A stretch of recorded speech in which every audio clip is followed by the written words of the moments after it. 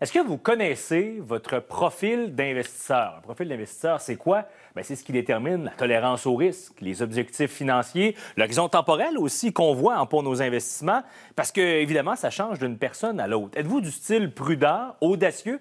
Est-ce que où on doit se placer dans, dans, tout ça? On en parle d'ailleurs ce soir avec Jean-Sébastien Jutra, notre collaborateur, comme à chaque semaine qu'on retrouve. Salut Jean-Sébastien. Salut Simon. C'est beaucoup de questions. On a de la difficulté parfois à se, à se positionner là-dedans. C'est quoi un bon profil d'investisseur? En fait, euh, un bon profil d'investisseur, premièrement, c'est de faire un profil d'investisseur. Vous avez probablement déjà vu ça dans votre institution financière ou avec votre conseiller. En fait, les, conseillers sont obligés de faire des profils d'investisseurs. C'est une série de questions. Mm-hmm. Donc, ça peut être différent d'une institution financière à l'autre qu'on pose des questions euh, est-ce que vous êtes prêt à avoir une baisse de X, Y Donc, vous remplissez ce questionnaire-là, puis à la fin, il y a un pointage qui sort de tout ça. Et là, ça va nous donner un profil d'investisseur. Et avec ça, c'est là que le conseiller, c'est là que l'institution financière doit vous construire un portefeuille d'investissement qui va fitter, désolé le terme, avec votre niveau de tolérance au risque. Parce que si vous êtes audacieux, Simon, puis on se retrouve avec un portefeuille prudent, ben, on ne respecte pas le profil. Et l'inverse aussi est, est réel. Donc, il n'y a pas vraiment de bonne réponse.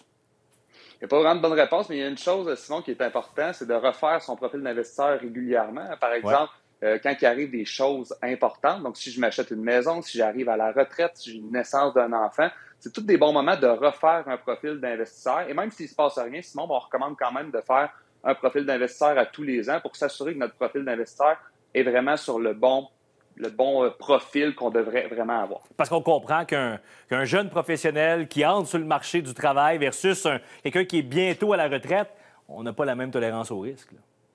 Non, tout à fait. Donc, euh, c'est important d'avoir vraiment le, profil qui fit avec ce qu'on a, qu'on a besoin. Donc, refaire un profil, c'est super important. Est-ce que j'ai raison si, je dis que monsieur, madame, tout le monde, l'investisseur moyen va avoir tendance à être conservateur dans ses choix d'investissement? Ben, j'ai pas de statistiques réelles, mais en cabinet, sinon, je pourrais te dire qu'on le voit vraiment. il y a des gens. Euh, la classe moyenne, en fait, a tendance à vouloir conserver son, ses, placements, donc vouloir être plus sécuritaire dans ses investissements. Puis on peut le comprendre, c'est de l'argent euh, durement gagné. Donc, on ne voudrait pas avoir nécessairement une grosse volatilité ou une grosse mm. perte de marché. Mais tu as raison, Simon, de croire qu'il y a une bonne quantité de personnes, surtout de la classe moyenne, préfèrent sécuriser leur portefeuille d'investissement. Mais est-ce que des investissements qui sont sûrs ont des répercussions long terme? Je suis vraiment content que tu me poses la question parce que, effectivement, quelqu'un qui va vouloir sécuriser ses investissements, bien, ça va venir avec un rendement moindre, hein, évidemment. On prend moins de risques, on a moins de potentiel de rendement à long terme. Et c'est là que ça devient intéressant de te poser la question, est-ce que c'est risqué de prendre, de prendre aucun risque? Hein? Parce que sinon, si, exemple, je décide de ne pas prendre de risque, puis disons qu'aujourd'hui, j'ai 30 ans, puis je, veux me rendre jusqu'à 65 ans. Donc, j'ai 35 ans devant moi. Si je ne veux pas prendre de risque, je devrais estimer à peu près un rendement de 3% par année. Donc, ce que j'ai calculé, c'est de me dire, si je veux me rendre à, disons, 1 million de dollars, je veux me rendre à 1 million de dollars à 65 ans, si je prends pas de risque à 3% de rendement, je vais devoir placer 1356 dollars par mois. disons que je prends du risque puis je, je, vais aller chercher un 6% de rendement, bien, ça va, je vais devoir, ça va être 624 dollars par mois que je vais devoir épargner pour arriver au même million de dollars. la morale de l'histoire, c'est que le rendement peut être franchement intéressant parce que si on prend la personne qui ne prend pas de risque, à 1356 dollars par mois, j'ai les regrets d'informer que probablement qu'on n'arrivera pas à l'objectif parce que c'est très difficile pour un revenu moyen d'épargner autant d'argent. Parce qu'on comprend aussi que oui, ça peut bien aller, mais il y a des pertes également. Donc, c'est cette tolérance-là au risque qu'on doit aussi absorber.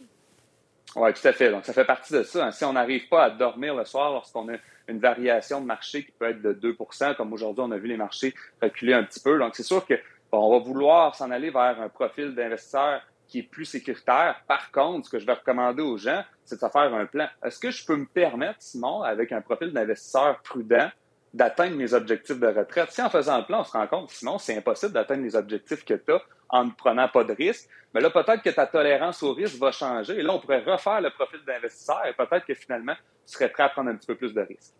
Est-ce qu'on peut dire que c'est un peu dangereux aussi d'être en réaction, c'est-à-dire que de ne pas prendre les devants? Ben, en fait, c'est sûr que le fait de, de, de, ne rien faire, c'est ça, c'est le plus grand risque qu'on peut avoir ben parce que le temps devant nous est, l'outil le plus important, le plus puissant qu'on peut avoir. Donc, évidemment, plutôt qu'on prend ça en main, plutôt qu'on qu'on s'informe sur comment que les marchés financiers fonctionnent, ben, plus, plus on peut facilement atteindre nos objectifs. Il est où elle est où cette balance-là entre le risque, justement, et le rendement? Comment tu vois ça?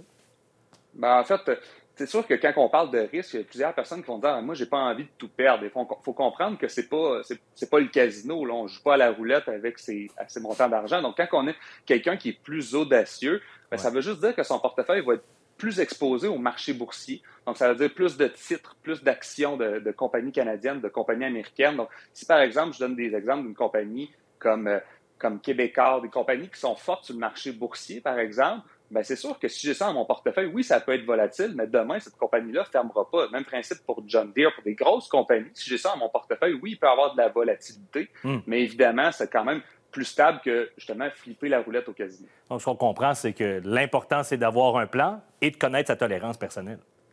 Tout à fait. Je pense que l'idée, c'est d'avoir un plan. La morale de l'histoire, c'est si vous avez un plan, vous allez pouvoir voir vers où vous en allez, c'est quoi les objectifs que vous avez et est-ce que c'est réalisable dans le temps qu'on a devant nous. Sébastien, on va profiter de ta présence, si tu le veux bien, pour te garder pour notre question au retour de la pause. On aime toujours ça avoir un expert. En plus, tu es là avec nous. Donc, on va prendre le temps de répondre à la question. Ça marche. Merci. On se retrouve après la pause.